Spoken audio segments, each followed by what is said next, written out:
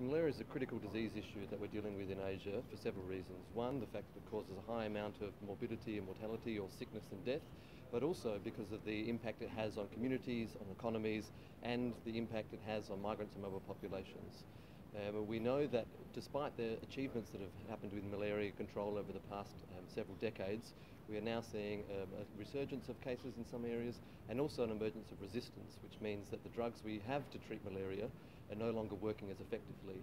Now, in the past, several decades ago, this happened um, and we lost the ability to treat much of the malaria through the standard drugs, so new drugs had to be found. Uh, we're now seeing emergence of resistance to these new drugs, which is a big cause for concern because if that resistance grows and spreads, um, it can mean that the fight against malaria across the world is uh, significantly compromised. So what we're talking about now is not just treating malaria, not just controlling malaria, but within the Asia Pacific region, we're going to completely eliminate malaria in the region. And this will save lives, this will spur economies, and um, critically spur development within the region. The world has made unprecedented progress over the last 15 years.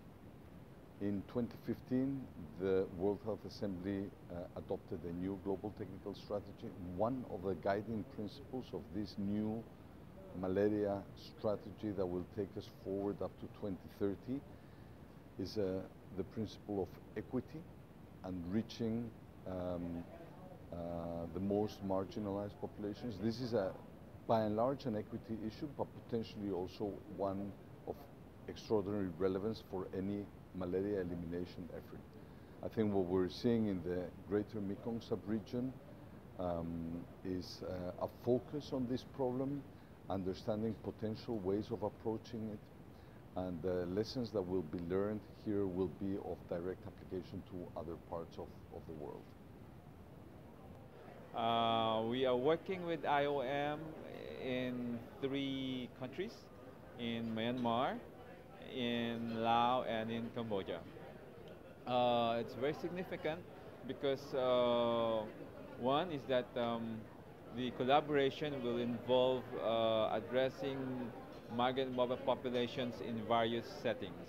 So for instance, in um, Myanmar, uh, our intervention with IOM would be in uh, private companies, private corporations, and we'd like to see how the private sector would be involved in addressing these needs.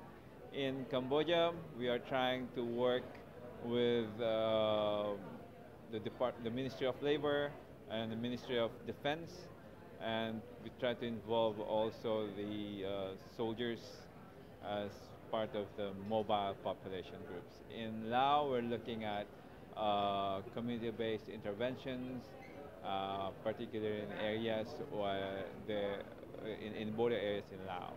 So we've been working with IOM, uh, uh, not just in malaria, but also in in HIV projects, uh, dealing with migrant and mobile populations. So hopefully, the results of this uh, meeting and uh, the discussions would be brought and would be in, uh, would inform uh, a conference that ADB and IOM would be holding uh, in Dalat, Vietnam, sometime uh, mid-November. that would be for migrant mobile populations and malaria as well. The forum today is quite significant because we're talking about malaria migrants and mobile populations. We need to have a concerted effort in addressing the health of migrants, particularly in accessing malaria prevention, care and treatment.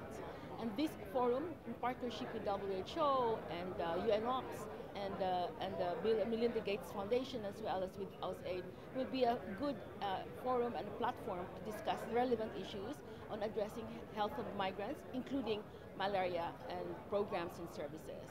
IOM's role here, or the added value of IOM, is that we're working with beyond with health sector as well as non-health sector, particularly with the immigration, with transportation, with social welfare, with education, with agriculture.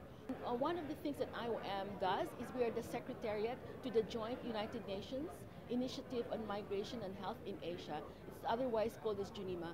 It's a partnership with governments, with UN uh, agencies, civil society as well as with development partners. We work on making sure that the health of migrants are addressed in a more meaningful way, in a more engaging way through multi-sector partnerships. We're here at this meeting um, that is considering um, malaria in mobile and migrant populations. Uh, this is a very, very critical thing for the Southeast Asia region. Um, the countries of the greater Mekong subregion have committed themselves to eliminating malaria uh, by the year 2030. Um, the, this malaria elimination effort will hinge on our capacity to reach mobile and migrant populations. Uh, this is really one of the most critical aspects of the, the uh, strategy for eliminating malaria and uh, for discussion at this meeting.